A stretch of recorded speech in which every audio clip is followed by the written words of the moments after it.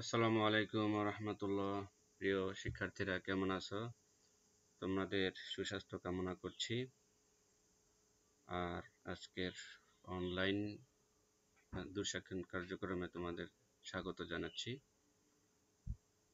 তো দেরি নয়, শুরু করা যাক। তোমরা তোমাদের আরবি বইটি হাতে নাও এবং এই পৃষ্ঠাটা বের করো।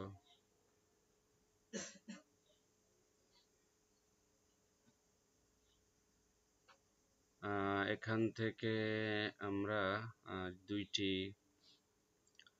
নতুন শব্দ শিখব এবং এই শব্দ দুইটি দিয়ে কিছু বাক্য তৈরি করাও শিখব।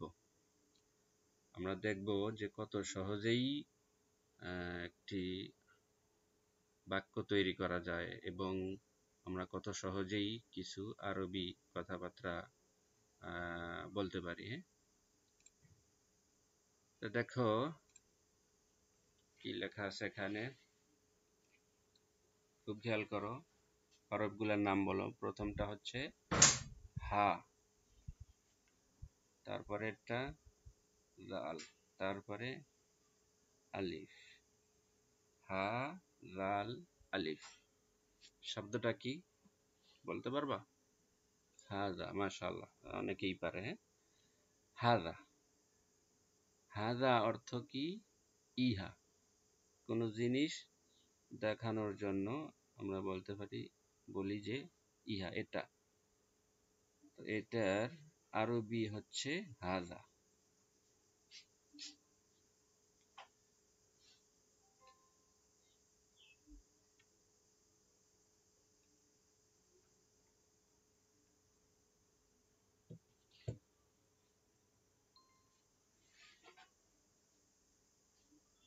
হাজা অর্থ ইহা। হাজা বানান করো, হা, জাল, আলিফ, হাজা হ্যাঁ? আচ্ছা। এ হলো একটা শব্দ। এটা আমরা আগে অনেকে আগে থেকে জানি, কেউ নতুন জানলাম। এটা হচ্ছে হাজা হাজা অর্থ হচ্ছে ইহা। আরেকটা শব্দ। খেয়াল করো। কি লেখা আছে? হরফগুলা বলো। হা, জাল, হা। হা, জাল, হা। কি হয়? হাজিহি হাজিহি মাশাল তোমরা দেখছি আগে থেকেই সব পারো হ্যাঁ? হাজিহি অর্থ কি? ইহা। হাজিহি অর্থ ইহা। আগে দেখলাম কি? হাজা। হাজা অর্থ ইহা। আবার এখন হাজিহি। হাজিহি অর্থ হু ইহা। এই দুইটার মধ্যে পার্থক্য কি? এটাই আজকে আমরা শিখব হ্যাঁ? হাজা অর্থ ইহা, হাজিহি অর্থ ইহা।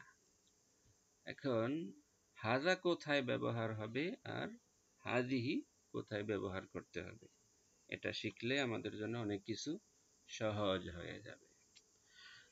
তো তোমরা একটা জিনিস মনে রাখবা, একটা জিনিস, বিষয় খেয়াল রাখলেই তোমাদের জন্য এই বিষয়টা অনেক সহজ হয়ে যাবে। যেমন, মনে করো এই যে আমাদের ভিতরে আমরা দুই রকমের মানুষ দেখতে পাই, বা অনেক কিছু এরকম দুই রকম আছে দুই রকমের জিনিস আছে। কিছু জিনিস আছে পুরুষ আর কিছু জিনিস আছে, মহিলা। তো যেসব জিনিস বা যেসব শব্দ পুরুষ, সেগুলোর জন্য ব্যবহার হবে হাজা। আর যেসব জিনিস মহিলা বা যেসব শব্দ মহিলা, সেসব জিনিস এর জন্য ব্যবহার হবে হাজিহি। তার সকল পুরুষ বিষয়ের জন্য হাজা, আর সকল মহিলা বিষয়ের জন্য হবে হাজিহি, কথা বুঝে আসছো? আচ্ছা আগে মনে রাখো, হাজা হলো পুরুষদের জন্য আর হাজিহি হলো মহিলাদের জন্য। এখন সামনে চলো, তোমাদের বুঝতে অনেক সহজ হবে। তোমরা ছবিতে কি দেখতে পাচ্ছ? একটি মেয়ে, বেন্তুন, না? বিন্তুন মেয়ে। এখন এটা কি পুরুষ না মহিলা? মহিলা। আচ্ছা তাহলে এখন ওই যে আমাদের কাছে দুইটা শব্দ আছে, একটা হাজা আর একটা হচ্ছে হাজিহি এখন এখানে আমি কোনটা ব্যবহার করব? হাজা নাকি হাজিহি দুইটাই তো, দুইটা অর্থই ইহা। এই যে মেয়েটাকে আমরা দেখতেছি, একটা মেয়ে, আমরা বলব যে এটা একটা মেয়ে। বা এটা মেয়ে। এই কথাটা বোঝার জন্য আমাদেরকে একটা আরবি শব্দ দরকার আছে, হাজা অথবা হাজি। এখানে আমরা কোনটা ব্যবহার করব? এর আগে আমরা শিখেছিলাম কি যে হাজা হচ্ছে সমস্ত পুরুষদের জন্য আর হাজিহি হচ্ছে মহিলাদের জন্য। তো এখানে আমরা কোনটা হাজা ব্যবহার করব না হাজিবি ব্যবহার করব? বলতে পারো তোমরা? হ্যাঁ আবার বলো। হাজিহি হ্যাঁ? হাজিহি বানান করো। হা জাল হা হাজিহি। হ্যাঁ, মাশাল্লাহ এই তো বুঝে ফেলেছে। যেহেতু আমরা একটা মেয়ের ছবি দেখতেছি এটা একটা মেয়ে সুতরাং আমরা এখানে বলব কি হাজিহি। হাজিহি বিন্তুন। হাজিহি বিন্তুন। এটা একটা মেয়ে। হাজিহি বিন্তুন। তাহলে মেয়েদের জন্য, মহিলাদের জন্য আমরা হাজিহি ব্যবহার করলাম। কত সুন্দর, সহজ না? আচ্ছা যে সামনে চলো। আর একটু বুঝতে চেষ্টা করা যাক। এখানে আমরা দেখতে পাচ্ছি বিশাল একটি চেয়ারের মধ্যে বসে আছে একজন ভদ্রলোক, বলতো পুরুষ না মহিলা? পুরুষ। আচ্ছা তাহলে এই পুরুষের জন্য আমরা কোনটা ব্যবহার করব? হাজা নাকি হাজি? এখানে আমরা ব্যবহার করব হাজা। কেন? ইনি হচ্ছে পুরুষ। পুরুষের জন্য ব্যবহার করব হাজা। হাজা তাজলিসু। ইনি বসে আছে। হাজা তাজলিসু। সে কি করে আছে ইনি বসে আছে। এই জন্য এখানে কি, এই ওই লোকটা পুরুষ, এজন্য ব্যবহার হবে হাজা। আগের লোকটা ছিল মহিলা, এজন্য ব্যবহার হয়েছিল হাজিহি। এখনকার লোকটা পুরুষ, এজন্য ব্যবহার হয়েছে হাজা। সহজ না কঠিন? একেবারেই সহজ মাশাল্লাহ তোমরা তো সব বোঝো, তোমাদের জন্য তো সহজই হবে। চলো সামনে দেখা যাক আর কি আছে। এখানে আমরা দেখতে পাচ্ছি একজন ডাক্তার। এই ডাক্তার, আমাকে বলো তো, ডাক্তার পুরুষ না মহিলা?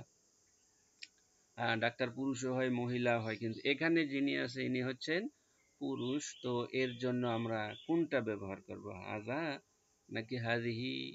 হাজা, সহজ, সবাই পারে বলতে। হ্যাঁ এই যে চলে এসেছে, হাজা। হাজা তবিবুন, কি হলো? হাজা তবিবুন সুন্দর। আর একটু দেখা যাক।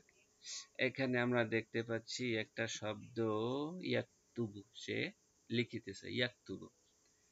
এখন তোমরা হয়তো বুঝতে পারবে না, তোমাদেরকে আমি বলে দিচ্ছি। এই ইয়াকতুবু শব্দটা হচ্ছে পুরুষ শব্দ। এটা পুরুষের জন্য ব্যবহার হয়। এই জন্য এখানে আমাকে বলো, কোনটা ব্যবহার হবে, হাজা নাকি হাজিহি? ব্যবহার হবে। হাজা, যেহেতু পুরুষ শব্দ হ্যাঁ? মুমতা এই তো বুঝে ফেলেছে। আচ্ছা এরপরে আমরা দেখি, এখানে কি হচ্ছে? হাজা ইয়াকতুবু হাজা ইয়াকতুবু। এখন আমাকে বলো, এখানে আছে কি একটা সুন্দুকুন বাক্স? এখানে কোনটা ব্যবহার করবা তোমরা? দেখি হাজা না, ঠিক আছে, সমস্যা নাই। হাজা ব্যবহার করো, তাহলে কি হয়? হাজা সুন্দুকুন হাজা সুন্দুকুন এখানে একটা শব্দ আছে, হাফিলাতুন বাস আমরা এখানে তোমাদেরকে একটা জিনিস বলে দেই, তোমরা খেয়াল করো, এই যে শব্দটার শেষে কি আছে? একটা তা আছে, গোলতা। এটাকে আমরা গোলতা বলি না? গোলতা আছে। তো আমাদেরকে এটা শিখিয়ে দিচ্ছি মনে রাখবে। যে সমস্ত শব্দের শেষে এরকম গোলতা থাকে গোলতা যে সমস্ত শব্দের শেষে গোলতা থাকে সেগুলো হচ্ছে মহিলা শব্দ। আর মহিলাদের জন্য ব্যবহার হবে কি? হাজা হাজিহি? হাজিহি, তাহলে পুরা বাক্য বলো দেখি কীভাবে হবে। হাজিহি হাফিলাতুন, কি হবে? হাজিহি হাফিলাতুন। হাজিহি হাফিলাতুন মাশাল্লাহ এই তো। আচ্ছা চলো এখন আমরা একটু গুলা, শব্দ বাক্যগুলা আবার দেখি। প্রথমে আমরা শিখেছিলাম, হাজিহি বিন্তুন। তারপরে শিখেছিলাম, হাজা তাজলিসু। তারপরে শিখেছিলাম, হাজা তবিবুন। তারপরে শিখেছিলাম, হাজা ইয়াকতুবু। তারপরে ছিল হাজা সুন্দুকুন। তারপরে হচ্ছে হাদিহি হাফিলাতুন। ঠিক আছে? বাক্যগুলো মনে রাখতে পারবা? এখন আমাকে বলো দেখি কে কে সবগুলো বাক্য বলতে পারবা? একটা একটা করে। প্রথমে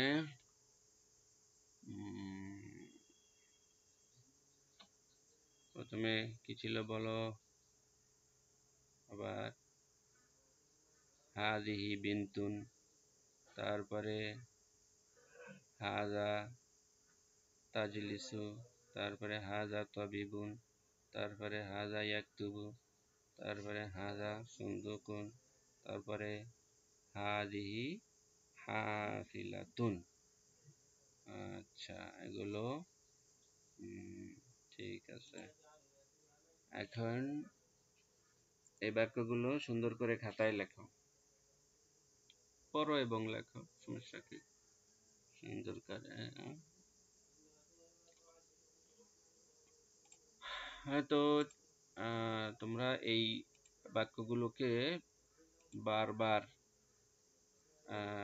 ভালোভাবে পড়ে পড়ে শিখবে আর হচ্ছে গিয়া পাঁচটি নতুন বাক্য তৈরি করবে। মনে করো, হাজা দিয়ে দুইটা বাক্য তৈরি করবে আর হচ্ছে হাজিহি দিয়ে তিনটা মোট পাঁচটা বাক্য তৈরি করে খাতায় লিখে রাখবে। আমি পরবর্তী ক্লাসে তোমাদের কাছ থেকে এই নতুন বাক্যগুলো নিব।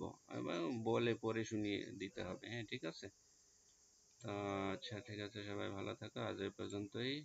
আসসালামু আলাইকুম ওরহমতুল্লাহি ওবরাকাতুহ